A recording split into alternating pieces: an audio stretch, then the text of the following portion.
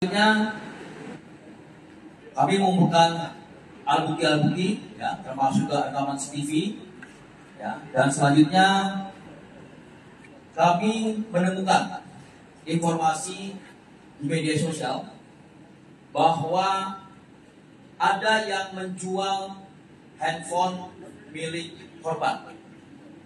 Nah, dari media sosial ini, ya, saya sebutkan aja Facebook, kita langsung mengetahui bahwa handphone milik korban sudah berada di tangan orang lain. Selanjutnya. Setelah kita telusuri terkait media sosial ini, eh, akhirnya diketahui bahwa polisi berhasil mengungkap handphone pelaku milik korban pembunuhan sadis terhadap agen perbankan atau agen BRI D dan eh, juga R. di Kabupaten Indramayu Dan sebelumnya selanjutnya, sempat viral ya. Kita lakukan penangkapan Pelaku terhadap karena mencoba saudara D terpaksa oleh petugas saudara tegas R. tersebut. Selain pelaku, Dan menurut keterangannya rekan bahwa pelaku yang merupakan seorang penadah HP juga diringkus di oleh polisi. ya. Se sebesar satu juta dua puluh ribu. Berawal dari situ, selanjutnya kita mengumpulkan alat bukti alat bukti lain, ya rekaman CCTV yang menampakkan bahwa ada si tersangka, ya. Ini. Kita karena kita dari sini kita bisa mengidentifikasi, ternyata D dan R ini juga menerima handphone awalnya dari saudara berinisial W. Dan selanjutnya kita mengidentifikasi sosok pria ini, si tersangka ini, si AS ini. Ya. Akhirnya kita ketahui bahwa sosok pria ini adalah saudara AS yang bertempat tinggal tidak jauh dari rumah korban. Dan selanjutnya pada hari Minggu pada pukul 03.00 tim respons kami berhasil ya, tim respons dan juga bergabung juga dengan tim respons dari Direktorat Reskrim Polda Jabar kita gabungan timnya berhasil menangkap tersangka di kos-kosan di wilayah Desa Jatimulya, Kecamatan Gunung Jati, Kabupaten Cirebon.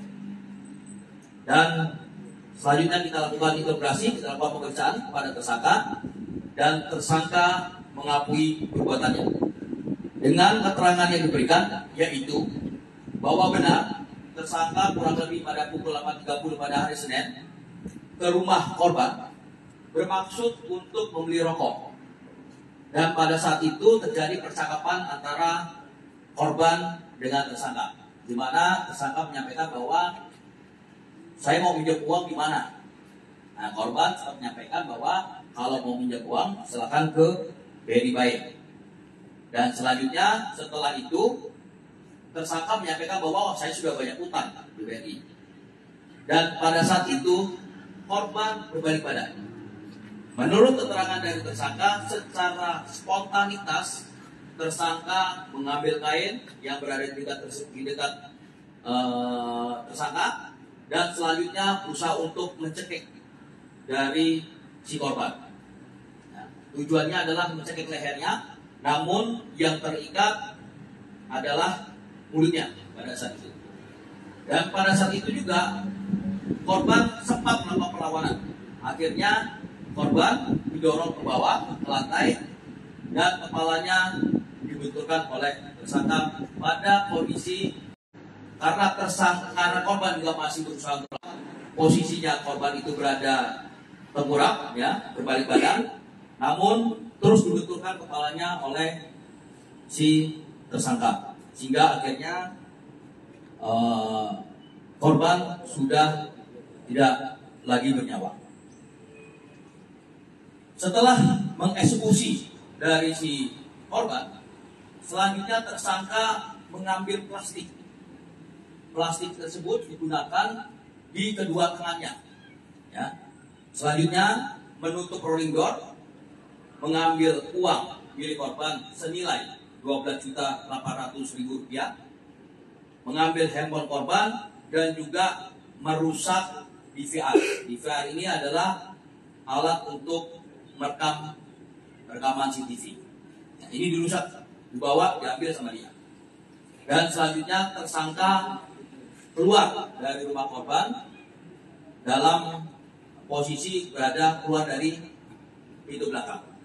Dan tersangka sebelumnya juga menutup pintu door rumah korban. Selanjutnya tersangka menuju ke rumahnya, mandi, berganti pakaian, dan mengambil sebuah tas ransel hitam. Ya. Ini tas ransel hitam berada di gudang milik tersangka, diambil di rumahnya. Diambil barang-barang tadi sudah tersebut dimasukkan ke dalam tas dan selanjutnya tersangka bertemu dengan istrinya dan menyampaikan bahwa tersangka akan pergi ke Subang. Dan selanjutnya tersangka menggunakan ojek sampai ke jalan Pantura dan selanjutnya berangkat menggunakan bus menuju ke daerah Kendau dan baru menuju ke kos-kosannya.